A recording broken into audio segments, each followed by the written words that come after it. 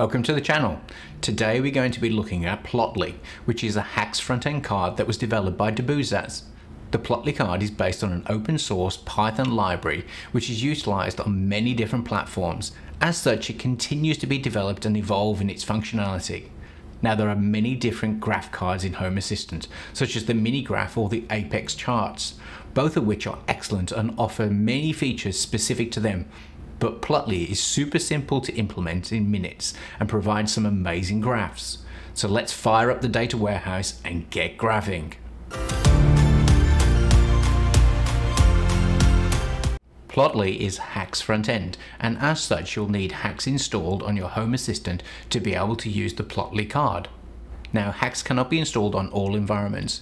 You'll need HAOS or Supervised installed to be able to install the Plotly card. To check what type of installation you have, navigate to Settings, scroll down to About, and if you see Core and Supervised and do not have HACS installed, then follow the link in the pop-up above and install HACS and once finished, come back to this video navigate to HACS in the left-hand menu. Search for and select Plotly. Now press download in the bottom right hand corner and confirm with download. Once downloaded, press the reload button. And you're done. The Plotly card is now available. Now let's add a Plotly card to a dashboard. I'll be using a section dashboard that allows for drag and drop and supports the Plotly card. Press the plus to add the card. Search for and select the Plotly card Give it a title, in my case, outside temperature. The hours field must be an integer, so I'll leave this as 24. Now you can set if you wish a scale to be logarithmic, which is a method used to display numerical data that spans a broad range of values, especially when the significant difference between the magnitudes of the numbers involved. These are typically used for sound levels, so you probably won't be using this, but it's great to have the option for it. I'll put a link in the description to the definition of using a log scale the y-axis minimum and the y-axis maximum is a nice feature that is not available for all graph cards, such as the Lovelace history card. It allows you to highlight specific data in the card for the viewing. If you'd like more details on the y-axis minimum and maximum, then check out the link in the pop-up above. Then you come to the data that you will be displaying. I'll be leaving the sun entity as this will show when the sun is above the horizon. For my second entity, I'll be using my Wittboy Weather Station outdoor temperature. As soon as I select the entity, the preview is generated. We can now save this card and it literally took seconds to generate. Now we have our graph, let's understand the front-end user controls, as this is one of the most powerful parts of the Plotly card. Firstly, we have the ability to click on the graph and scroll on it with the X and Y axis to different information, very handy for viewing prior information without having to go into the configuration of the card. In the top left of the card is a get out jail free card for reset. This will take you back to the default view for the scaling. In the controls to the right, the top two offer zoom. This will zoom in or out by a factor of 2. You can achieve small increments of zoom by using the control and the wheel on your mouse to zoom in or out. Under the zoom button is the auto scale. Plotly will auto scale the y axis to view all data points. The next two controls are to switch between zoom and pan. We have already seen pan allows you to move around the graph. The zoom feature when selected is one of Plotly's key features. It allows you to select data on the X or Y axis, and when you release the mouse, it will zoom in specifically to that section of data. Likewise, we can now search against Y-axis data. Always remembering that if we view on specific data, we can always press the reset button to revert back to our original default values.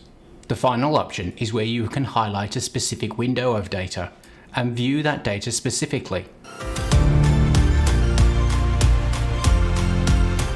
Now although the initial setup of the Plotly card makes it ridiculously easy to display data within seconds, this view can be tuned to specific requirements, but for this we're going to need YAML code.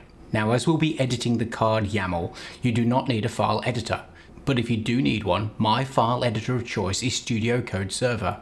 If you'd like to install this, then follow the links in the pop-up above.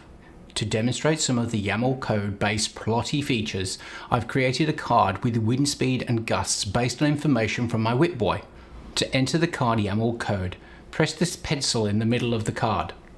Now press Show Code Editor. One of the more advanced features of Plotly that cannot be controlled within the UI is the ability to fill under the line.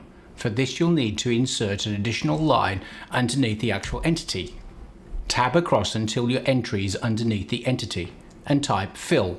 The visual editor will give you a warnings to tell you that it is not supported and cannot be displayed inside of the VUI anymore.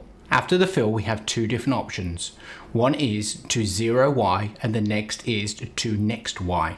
To 0y will fill between the entity line and the y axis. Now if we'd like to change the color of the fill we need to insert another line. For this we'll be using the attribute of fill color with a colon space and using the RGBA attribute. I'll put a link in the description to RGBA so that you can change the color to whatever color you'd like. You can also change the background color of your graph using the layout variable. Underneath the layout variable, use two spaces followed by plot underscore bg color colon space and then a color. And one of my favorites is predetermined range selectors. These are buttons that appear at the top of the graph and when pressed adjust the time scale of the y-axis. Now in this video I've only dipped my toe into the possibilities with Plotly. The Python script that Plotly is based on is truly astounding as to what you can achieve. If you have sensor data such as a Wittboy weather station or energy plugs, links in the description to those videos, then Plotly is the way to display that information quickly and if you want to spend the time, tune to your exact requirements. I'll put links in the description to some more popular advanced examples that you can template from if you want to build your own. I hope you enjoyed the video and if you did then consider liking, subscribing and joining the ever-growing community. And if I've opened your eyes to a new and exciting Home Assistant card then consider a super thanks or buy me a coffee, it's really appreciated. Until the next one, I hope your graphs are all going in the right direction.